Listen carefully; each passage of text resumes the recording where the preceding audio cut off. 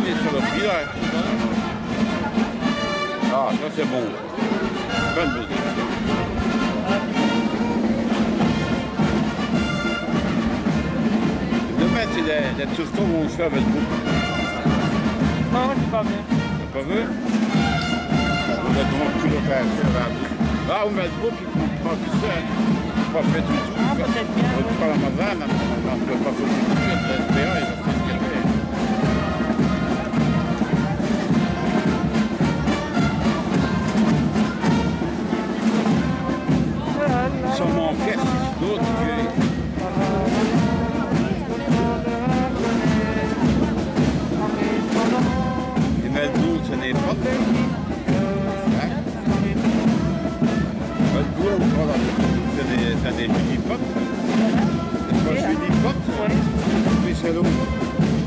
Dans l'eau,